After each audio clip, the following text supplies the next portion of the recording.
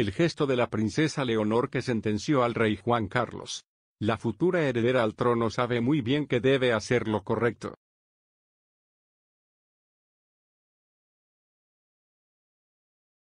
Si pensábamos que solo en las familias convencionales existían problemas, estamos sumamente equivocados puesto a que los integrantes de la realeza son el claro ejemplo de que no todo lo que brilla es oro, y menos que la paz abunde por sus lados. En esta oportunidad quienes, sorprendentemente, dieron de qué hablar fueron la princesa Leonor y el rey Juan Carlos.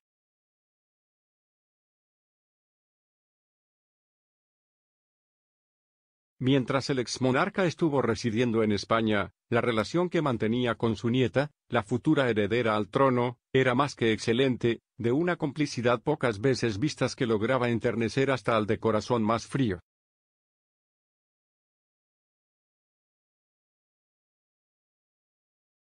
Sin embargo, los buenos momentos no duraron para siempre y fue, lamentablemente, el exilio del rey Juan Carlos lo que terminó provocando una especie de quiebre con su querida nieta.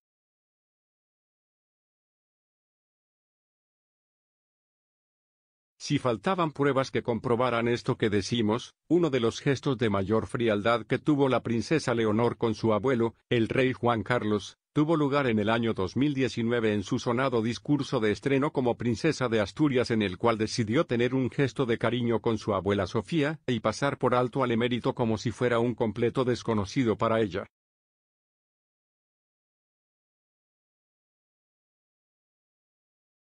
Asimismo, durante todos estos años, la primogénita del rey Felipe ha demostrado en cada una de sus apariciones públicas que no tiene ni un mínimo de intención de seguir el mismo legado que dejó su abuelo en la monarquía, sino más bien busca un reinado sumamente diferente, demostrando así rechazar la herencia más grande que su abuelo podría haberle dejado.